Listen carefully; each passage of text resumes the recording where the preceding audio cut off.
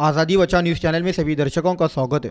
तुलजापुर लातूर रास्ते पर शराब ले जा रही ट्रक गिर गई तालाब में, लोगों ने लूटी शराब। दरअसल कर्नाटक हुमनाबाद से विदेशी शराब के बॉक्स लेकर कोल्हापुर जा रहे ट्रक का नियंत्रण खो गया और ट्रक सीधे तालाब में जाता देख ड्राइवर अनिल महादेव और किन्नर भारत ट्रक से कूद गए और देखते ही देखते शराब बॉक्स से भरी ट्रक तुलजापुर के पाचुंदा तालाब में जा गिरी।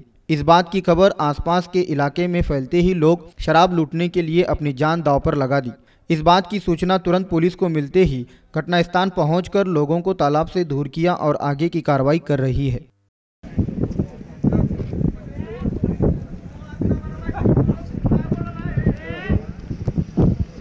Yes. Yes.